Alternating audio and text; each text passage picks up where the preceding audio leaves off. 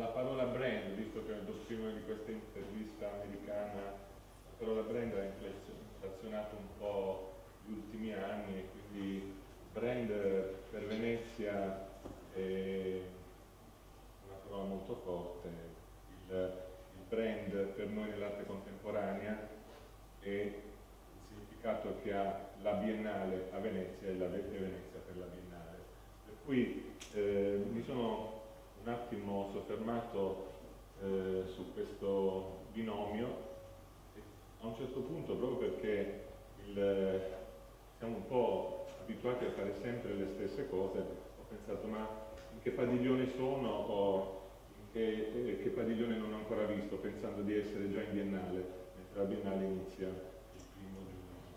E quindi questa forza che ha il, la componente eh, dell'immagine rispetto anche al, al, luogo e Venezia penso che sia eh, insieme a poche altre città al mondo eh, la città che praticamente ha come evento culturale, in particolar modo la Biennale, il, la possibilità di essere uno degli elementi più importanti, uno dei, dei momenti più importanti al mondo.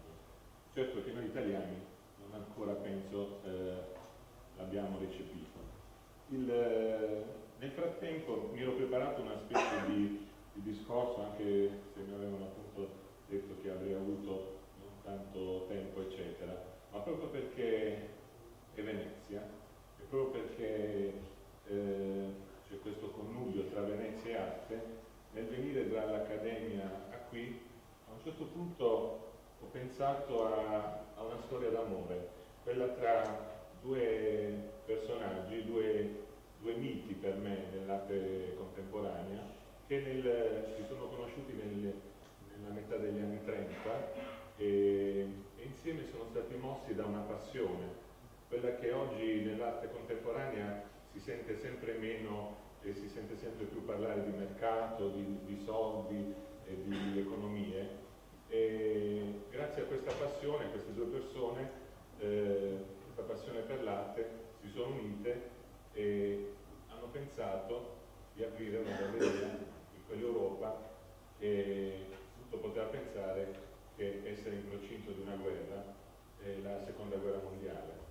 Anche qui le analogie sono tante, parliamo di crisi, eh, la crisi attuale eh, ci appunto so, eh, per qualsiasi cosa possa succedere è colpa della crisi, quando avviene questo è la crisi.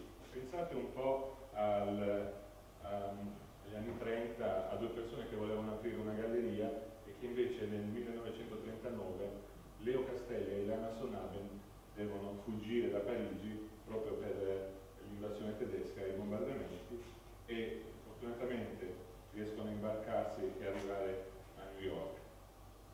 Perché dico questo? Perché Leo Castelli è tristino, italiano, e Eliana Sonaben, rumena, eh, amano tutte e due l'arte contemporanea, mentre Leo Castelli però a un certo punto da italiano eh, è circondato da quello che poi eh, tutti sanno eh, diventa appunto il suo eh, l'occhiello da Popà, Eliana ama Venezia come eh, la può aver amata anche Peggy Guggenheim.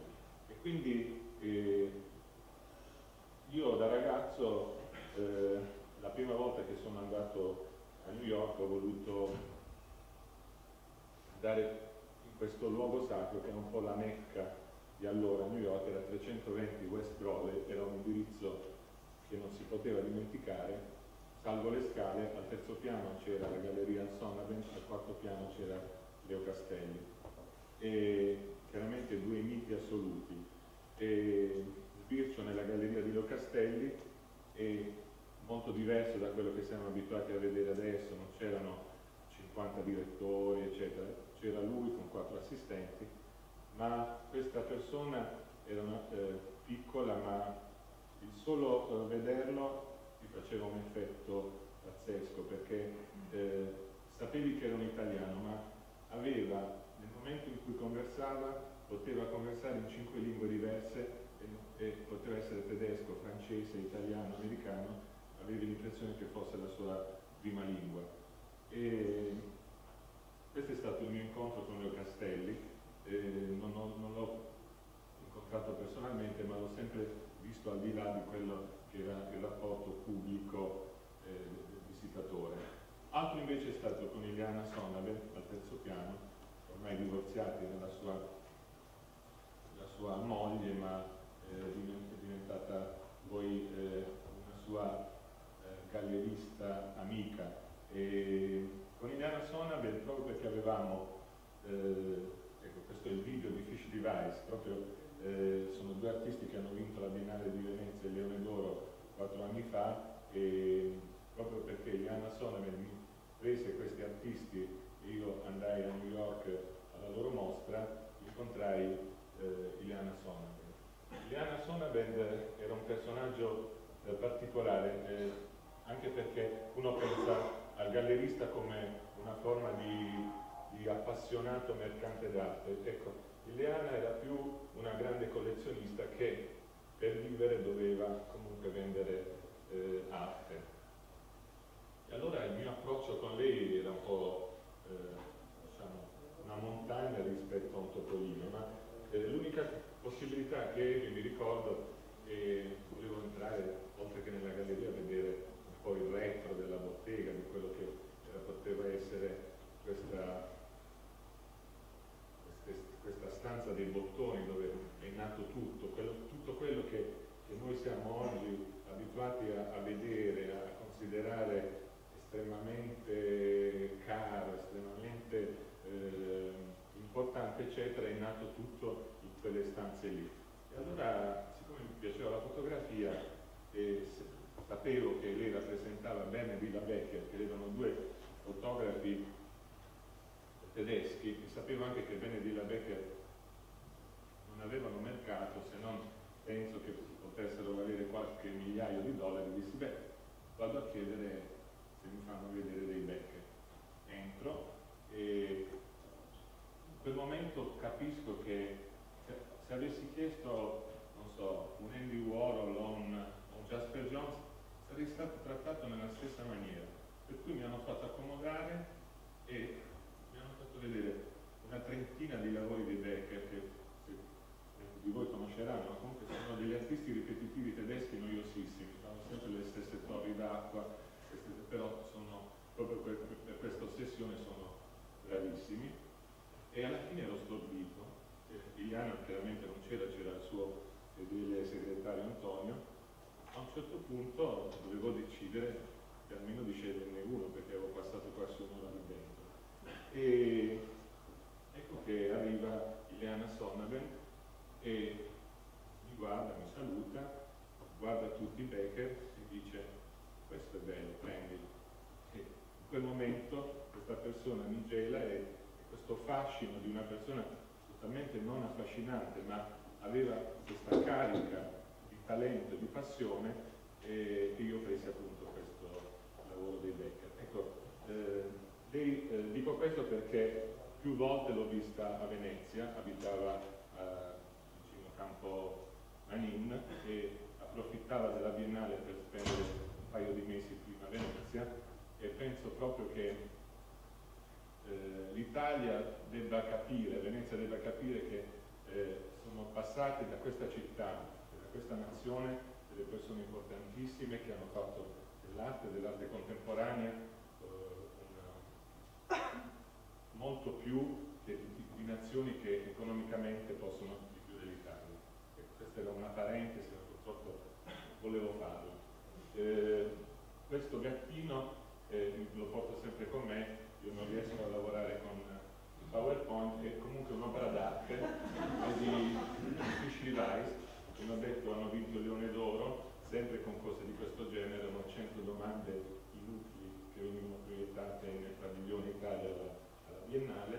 E questo gattino è stato eh, esposto, per dire, a Times Square dove c'è un grande billboard della Sony e la, insieme a tutte le pubblicità eh, il comune di New York aveva dedicato alcuni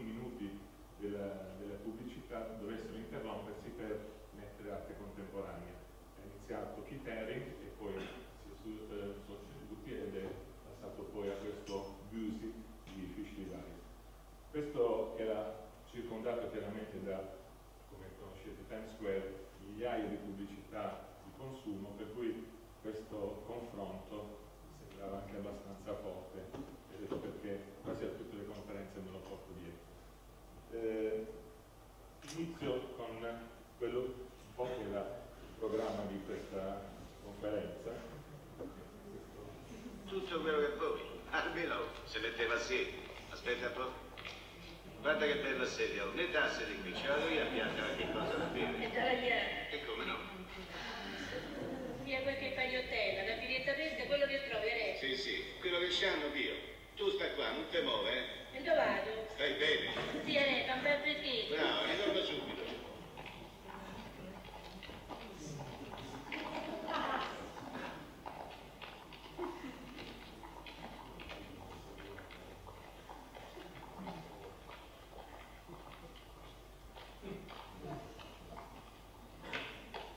Scusi, io non riesco a trovare, non c'è una mensa, un bar dove si mangia se beve? De a dritto ed è qua fuori a destra. Non ho capito, che Là, fuori dalla porta a destra. Ah, fuori dalla porta. Da dritta, dici? Ma come parlano questi?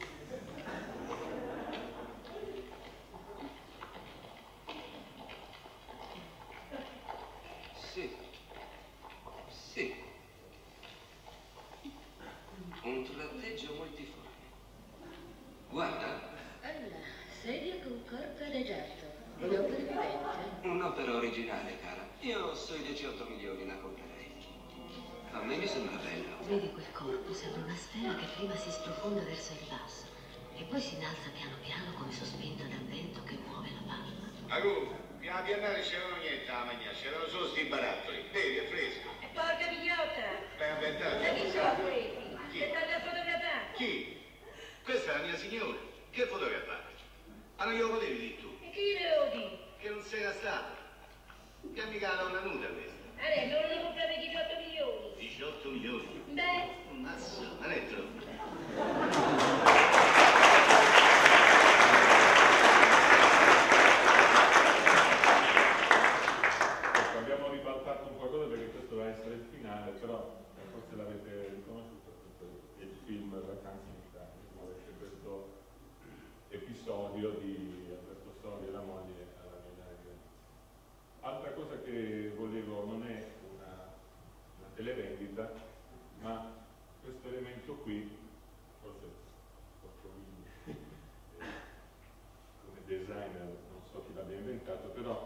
Eh, il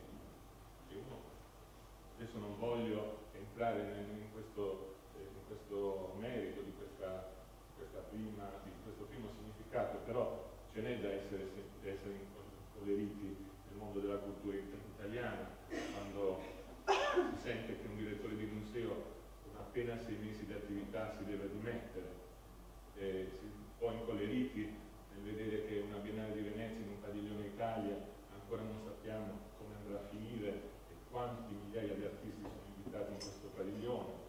Quindi eh, diciamo che per scocciarci in Italia ne abbiamo un, un bel po'. L'altro termine, scocciare, e forse potrebbe risolvere il primo, perché io sono presidente di un'associazione, quella Start Milano, dove ho tentato di scocciare proprio tra di noi, unire quello che gli americani chiamano sorta di network, e ho prima in qualche conferenza politica si diceva pari sistema, e appunto questo incollare eh, personaggi e professioni proprio perché penso che riuscire a condividere la propria professionalità e non mantenere l'individualismo, l'individualità eh, anche diciamo eccellente, anche talentuosa, che però eh, viene sopraffatta da economie molto più forti. Leggevo il libro di Bruce Chadwick dove eh, paragona il, il dell'asta eh, d'arte in un momento quasi di rituale liturgico dove c'è chi celebra questo rituale, dove c'è questa cosa da sacrificare e dove ci sono tutti fedeli e poi ci sono pochi eletti che possono arrivare al, ad avere quel pezzo fino al momento in cui finalmente uno riesce ad averlo. Eh, questo, questo tipo di liturgia, questo tipo di l'economia, forti, il denaro riescono eh, oggi a farsi eh, più forti di quelle che sono le passioni di un Liliana Sonaga, di Leo Castelli o di individui che sono i galleristi che ogni giorno insieme agli artisti creano le possibilità di una, di una cultura sul contemporaneo, io credo che questa è la cosa che debba scocciare di meno e riuscire a scocciare tutti. Grazie.